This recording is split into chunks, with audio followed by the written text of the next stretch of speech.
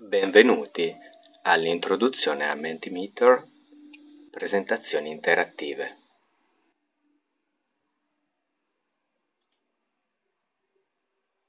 Il sito e l'applicazione che andiamo a presentare è Mentimeter, indirizzo mentimeter.com. È uno strumento estremamente efficace per la realizzazione di presentazioni interattive il coinvolgimento con il pubblico e anche la comparazione e l'analisi di alcuni dati. Lo strumento è in parte gratuito, poi superati certi limiti, come in molti casi, c'è la necessità di passare a profilo professionale, ma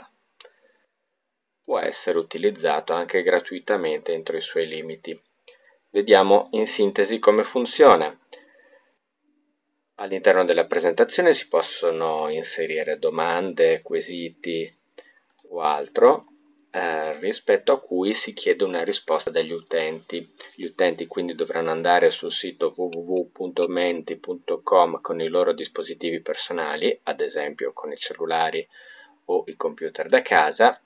e inserendo il codice in testa alla slide potranno andare a accedere, dare delle risposte e queste saranno automaticamente eh, incorporate e appariranno nella presentazione gli esiti in tempo reale, sostanzialmente con uno scarto minimo. È molto efficace anche per eh, le, i modelli proposti. Andiamo quindi a vedere come funziona una presentazione. Una presentazione presenta eh, ovviamente una serie di slide, l'impostazione è quella classica, possiamo ovviamente aggiungere slide o importare anche una presentazione già realizzata, qui abbiamo un esempio che ho preparato proprio per eh, vedere un attimo le funzioni principali, quindi andare a inserire titoli e slide di testo statico, andare anche a integrare con immagini, integrare con pulsanti di interazione come i like o i cuori, andare a presentare funzioni come le speech bubbles o altre ehm, opzioni di dialogo, word cloud per andare a raccogliere le idee rispetto a un concetto, andare a porre delle domande per le quali viene prevista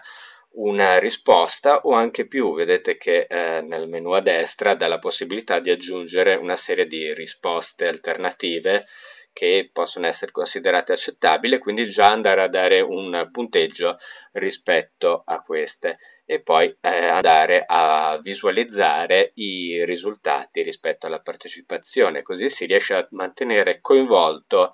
ehm,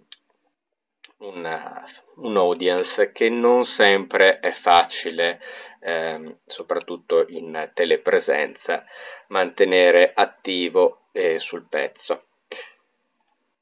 Vediamo poi un attimo il menu che ci offre, ovviamente la raccolta delle presentazioni, la possibilità di upgradare il profilo a un'opzione a pagamento pro più professionale,